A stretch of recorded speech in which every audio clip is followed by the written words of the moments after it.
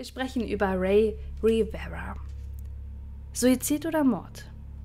Seit 15 Jahren müssen sich die Hinterbliebenen von Ray Rivera äh, diese quälende Frage immer wieder stellen. Hat der lebenslustige junge Mann, die Ziele, der Ziele und Träume hatte, wirklich Suizid begangen oder steckt hinter seinem Tod etwas viel Düsteres? Wusste Ray zu viel und musste deshalb getötet werden? Und was hat es mit dieser mysteriösen Nachricht auf sich, die Ray als einziges hinterlässt? Ray Omar Rivera wird 1973 geboren und wächst in einer liebevollen Familie auf. Sein Vater arbeitet bei der Air Force, weshalb die Familie oft umziehen muss. Und er hat ein enges Verhältnis zu seinen Geschwistern und Eltern und er gilt als lebensfroh, kontaktfreudig und humorvoll. Und zusammen mit seiner großen Frau, äh, Frau, großen Liebe und späteren Frau Allison zieht Ray nach Südkalifornien, denn er hat einen großen Traum. Er möchte Schriftsteller und Regisseur werden. Aber ja, der Erfolg bleibt aus für ihn. Um Geld zu verdienen, geht er dann 2004 auf das Angebot eines guten Freundes ein, in dessen Firma zu arbeiten.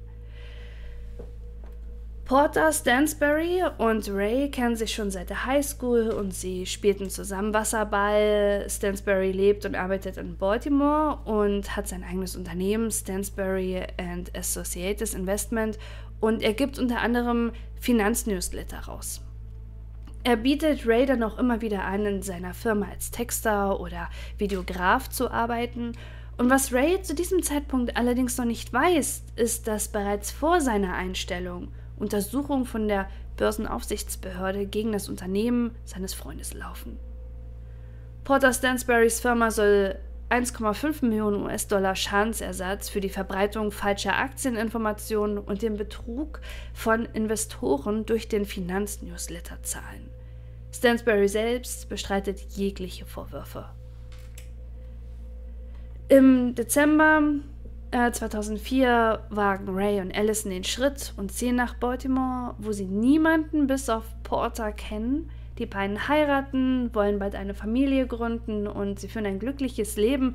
Und mit diesem Hintergrund wirkt es noch seltsamer, was sich am 16. Mai 2006 ereignet hatte. Allison ist an diesem Tag auf einer Geschäftsreise und am Abend versucht sie ihren Mann anzurufen, aber er geht nicht dran.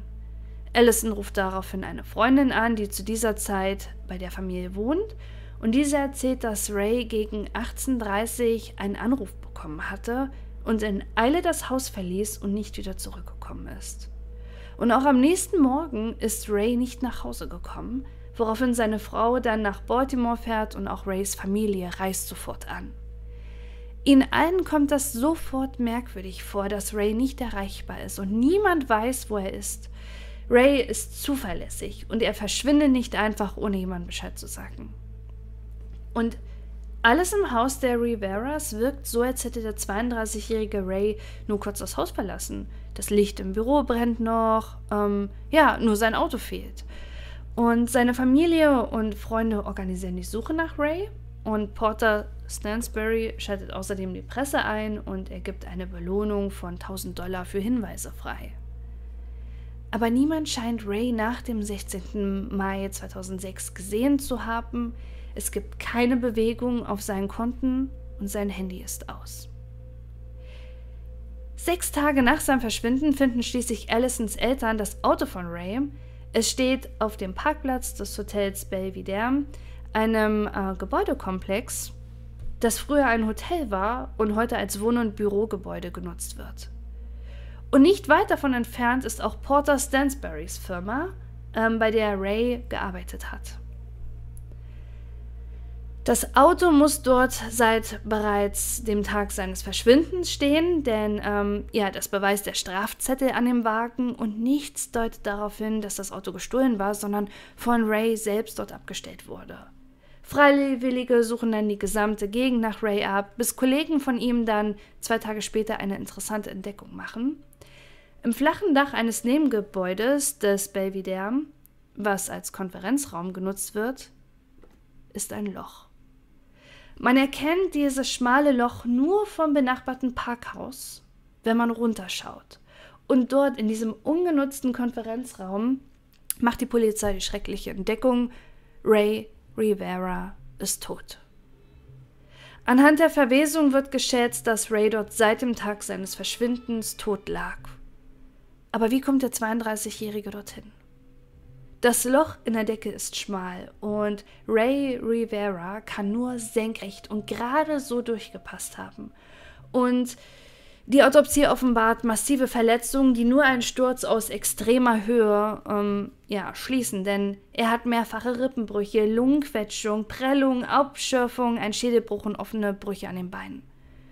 Von wo sprang Ray, wenn man davon ausgeht, dass es Suizid war?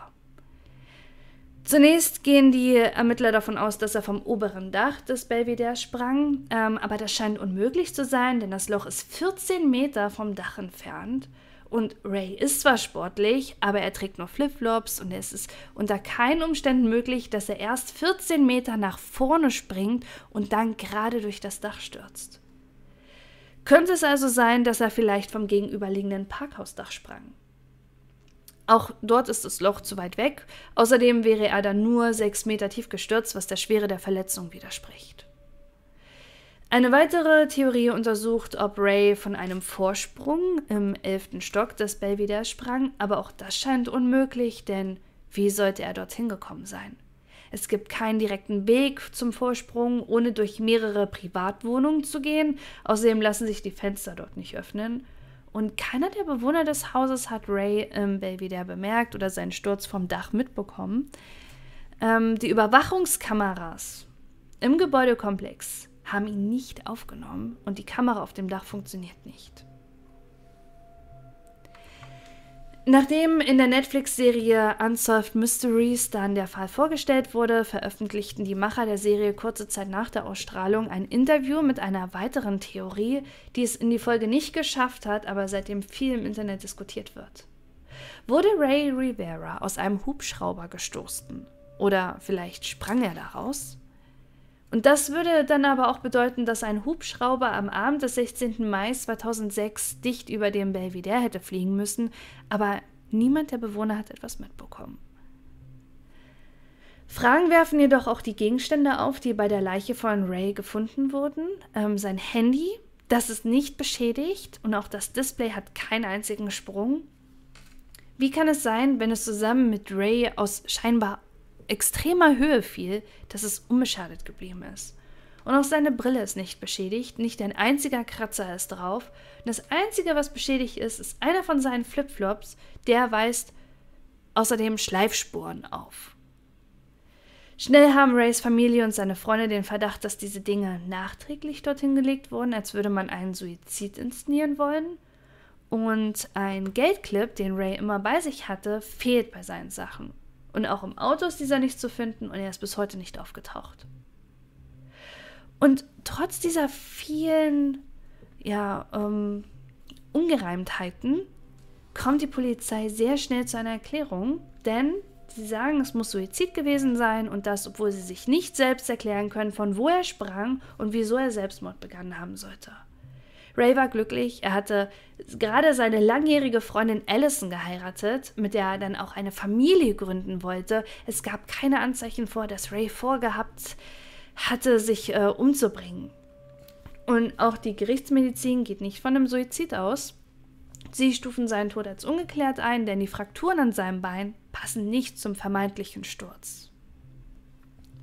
Seine Familie kann außerdem bis heute nicht akzeptieren, dass Ray Rivera laut der Polizei einen Suizid begangen haben soll.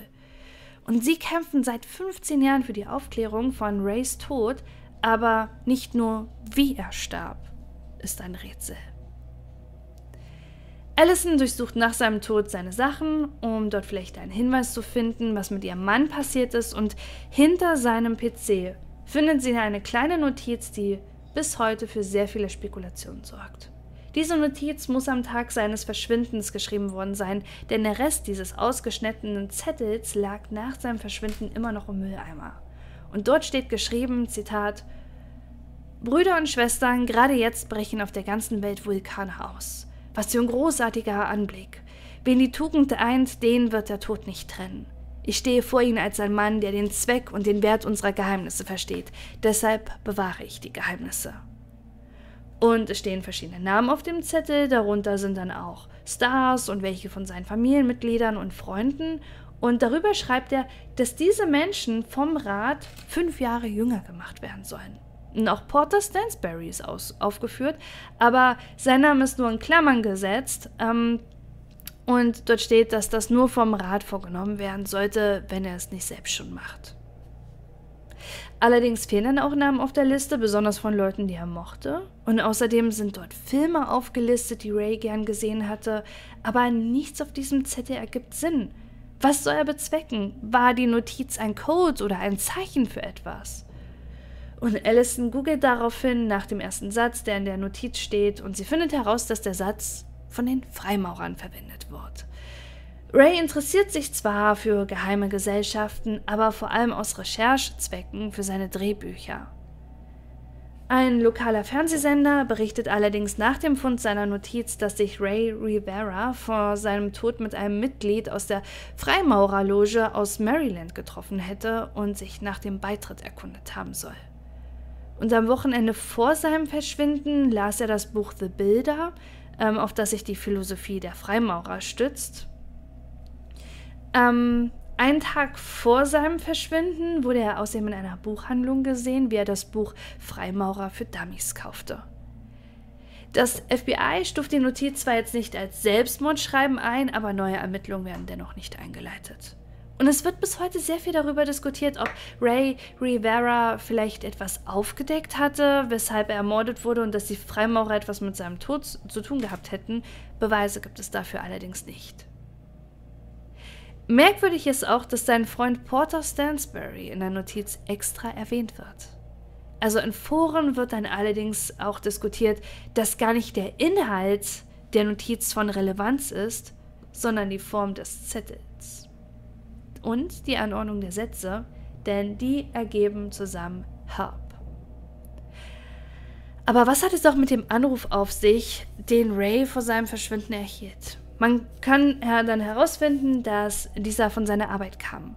Aber niemand weiß, worum es in dem Telefonat ging und wer ihn angerufen hatte, denn von welchem Telefon aus der Anruf getätigt wurde, kann nicht ermittelt werden.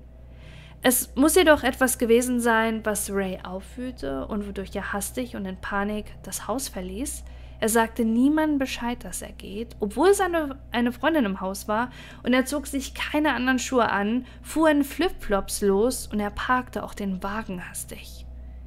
Die Freundin, die mit ihm im Haus war, sagte auch, dass das Gespräch sehr kurz war und Ray es mit einem Ausruf des O's beendete, also er sagte Oh Merkwürdig ist außerdem, dass die Firma Stansberry Associates Investment von seinem Freund Porter Stansberry nur wenige Stunden nach dem Fund der Leiche eine Nachrichtensperre durch ihre Anwälte verhängt. Keiner seiner ehemaligen Kollegen darf somit von der Polizei oder von Journalisten befragt werden oder mit ihnen sprechen. Und nur ein Ermittler im Morddezernat glaubt nicht an die Selbstmordtheorie und versucht immer wieder Porter Stansbury zu vernehmen, aber sämtliche Anfragen für Befragung lehnt er ab und er spricht auch mit Reportern nicht. Erst nach der Ausstrahlung von Unsolved Mysteries bricht Porter Stansbury dann sein Schweigen. Er gibt der Baltimore Sun ein Interview, in dem er sagt, dass die Netflix-Serie und alle, die dafür interviewt wurden, die Fakten verdreht hätten. Angeblich hätte Ray schon lange nicht mehr in seiner Firma gearbeitet und seine Mitarbeiter hätten angeblich nie einen Knebelvertrag unterzeichnen müssen, der die Zusammenarbeit mit der Polizei verbietet. Potter Stansberry vermutet in dem Interview, dass Ray unter psychischen Problemen litt und ihn deshalb auch unterstellte, Freimaurer zu sein. Dass Ray psychische Auffälligkeiten vor seinem Tod gehabt hätte, kann allerdings niemand in seinem Umfeld bestätigen. Außerdem streitet er ab, dass der Anruf von Rays Tod aus seiner Firma stammt. Zitat.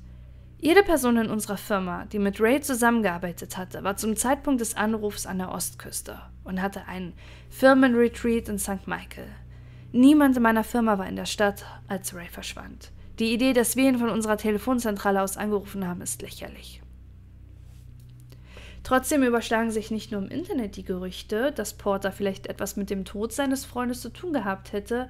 Auch Allison und Rays Familie ver äh, verstehen seit seinem Tod nicht, warum der Unternehmer jegliche Zusammenarbeit mit der Polizei verweigert, obwohl er sich anfangs bei der Suchaktion nach Ray noch engagiert hatte. Hat er oder vielleicht seine Firma etwas mit dem Tod von Ray Rivera zu tun?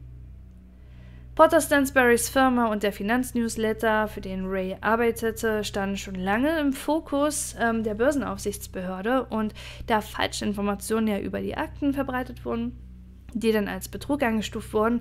Und als Ray von Porter eingestellt wird, sollte er mit dem Newsletter diesen Ruf der Firma dann verbessern. Und es war, er war mit dieser Aufgabe nicht sehr glücklich. Zwei Wochen vor seinem Verschwinden soll Ray oft nachdenklich gewesen sein und außerdem fällt Allison noch ein weiterer seltsamer Vorfall auf.